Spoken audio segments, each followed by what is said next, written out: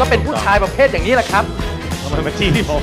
สร้างความเดือดร้อนให้กับผู้หญิงมากมาย อ่าครับครับเพราะฉะนั้นผู้ชายอย่างนี้ถือว่าเห็นแกันตัวครับอ่าอ่าผู้หญิงอย่าไปยอมนะฮะสมมุติถ้าผมเป็นผู้หญิงแล้วผมไปเจอผู้ชายเห็นแกันตัวเนี่ยผมจะไม่ยอมเสียเวลาไปนอนร่วมเพศให้เป็นเสนียดจันไรกับช่องคลอดตัวเองหรอก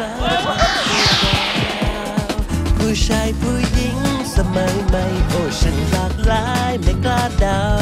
ไม่เห็นจะแปลกที่ใครเหมือนเรา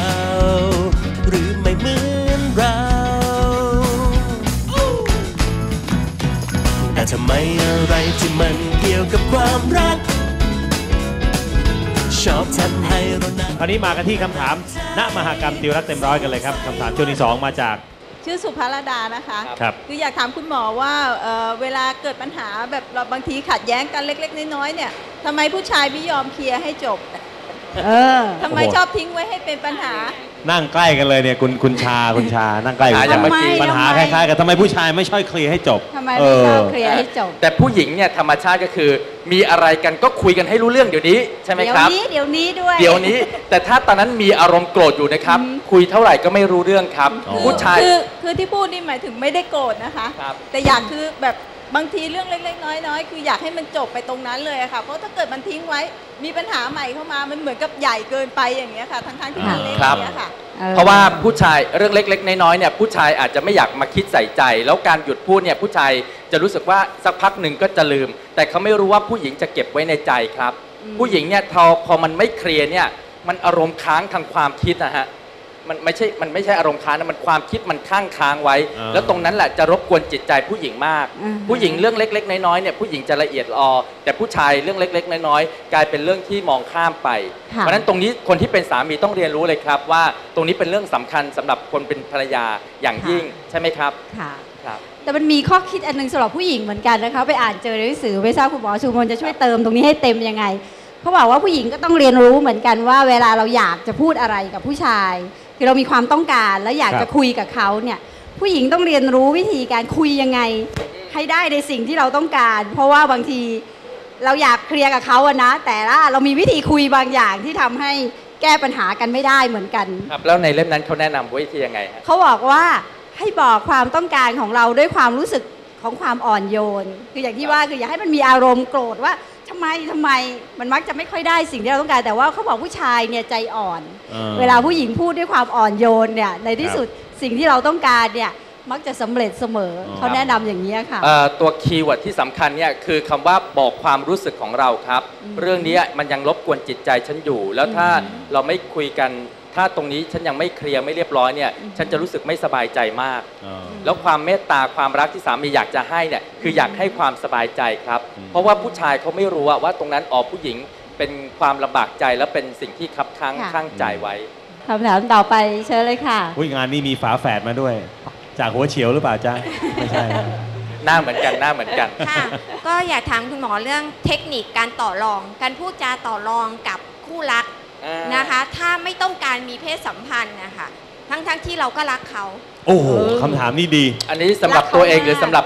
สาวๆครับ คิดว่าเป็นของวัยรุ่นเนี่ยนะคะ อ่าเพราะว่าเจอสถานการณ์แบบนี้แบบกำลังอยู่ในเข้าใจละสถานการณ์คือผู้ชาย นี้ค่ะ ผู้ชายนี่อยากจะลุยเต็มที่แล้วผู้นะหญิงฮะก็รักอะรักผู้หญิเขางก็มากรักเขาเลย แต่อยากจะคุยยังไงให้แบบปฏิเสธอย่างที่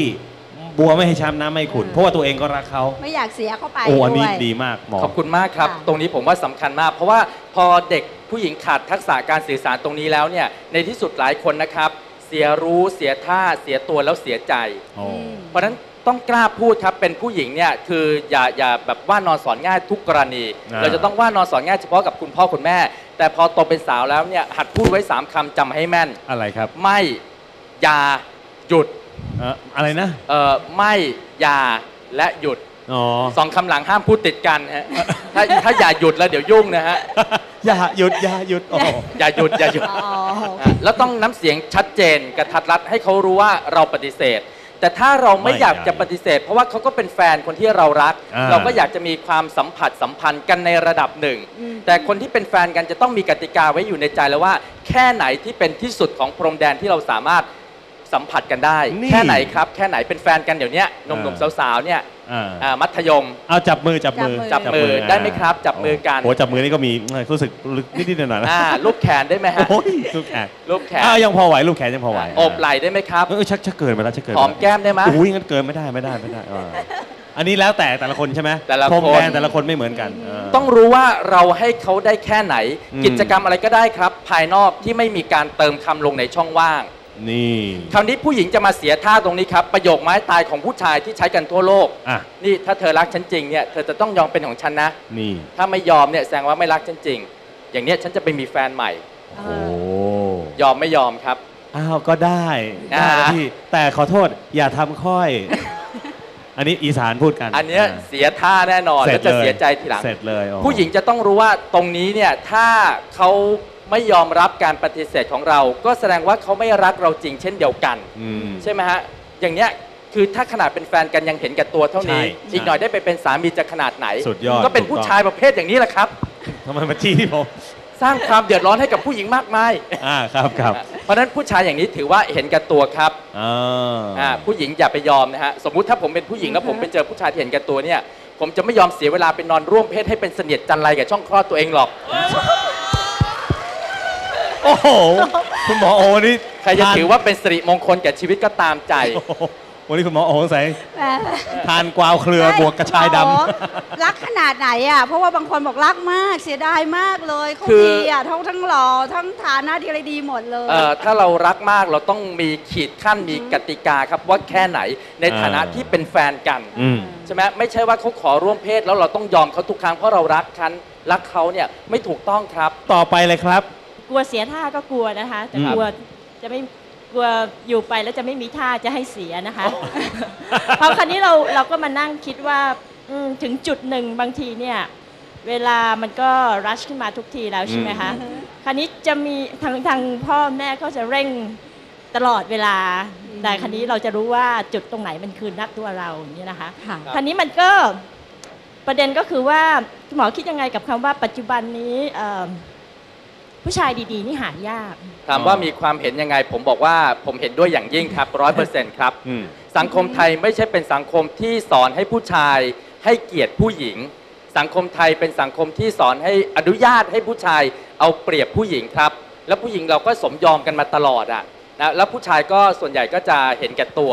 นะฮะผมเปรียบเทียบวรรณคดีของไทยเราเรื่องพระอภัยมณีเรื่องขุนช้างขุนแผน นะฮะไปที่ไหนก็มีเมียที่นั่นอะแล้วเราก็ยอมรับวัฒนธรรมตรงนี้ แต่เราจะสร้างคุณค่าวัฒนธรรมค่านิยมใหม่ ๆ อย่างไรครับ ลูกสาวผมนะเขาบอกว่าเมื่อคืนคุยกันเนี่ยเมื่อคืนเขาคุยกันเลยนะเขาบอกว่าเนี่ยไปอ่านหนังสือออวรรณกรรมฝรั่งเศสเนี่ยนะฮะในแบบ classic novel เนี่ยวรรณกรรมเนี่ยเขารู้สึกว่าแบบเอ๊ะทำไมผู้ชายฝรั่งเศสเนี่ย take care เอาอกเอาใจแล้วให้เกียรติกับผู้หญิงมากใช่ไหมฮะตรงนี้แหละครับเป็นค่านิยมที่จะต้องค่อย ๆ สร้างมากขึ้นครับ เพราะฉะนั้นถ้าชีวิตนี้ยังไม่เจอผู้ชายที่ดี พอที่เขาจะมาเป็นคู่ชีวิตของเรานะครับ เป็นโสดดีกว่ามีผัวเลวครับ ชัดเจนนะคะบางคนนึกว่าแต่งงานแล้วจะได้เจอสวงสวรรค์ดันเป็นแค่นรกเปลี่ยนขุมฮะฮะมีเวรมีกรรมใช้กรรมกันไม่จบไม่สิ้น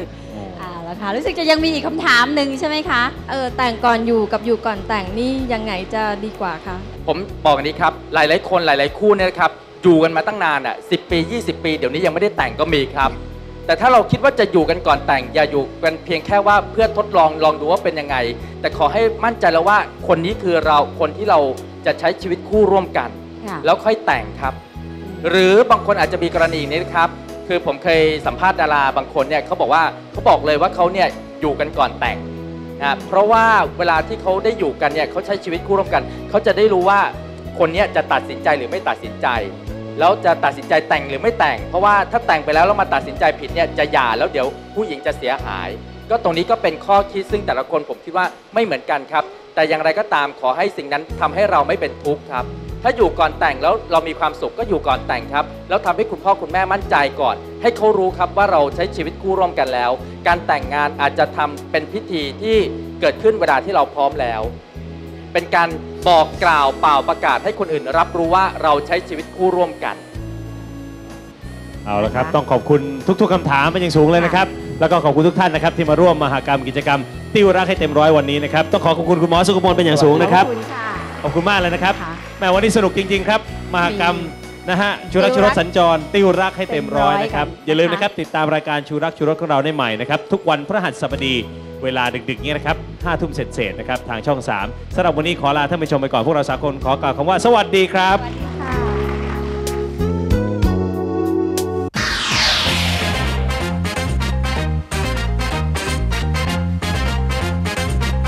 มีพื้นที่สำหรับใครคนใดคนหนึ่งสำหรับเป็นคนพิเศษไหม ที่จะใช้ชีวิตร่วมกันไปเขาเรียกอะไรนะ แก่ร่วมกันอ่า ก็มีมีแน่นอนนะคะ เพราะเชื่อว่าทุกคนต้องมีความฝันน่ะว่าอยากที่จะมีครอบครัว อยากที่จะมี ลูกเป็นของครับตัวเองที่เราจะมีครอบครัวที่น่ารักอะนะคะแบบครัก็บเป็นคนหนึ่งซึ่งก็ฝันไว้เยอะอืม เหมือนกัน ก็อาจจะเป็นเพราะว่าฝันมากไปก็เลยฝันไม่เป็นจริงสักที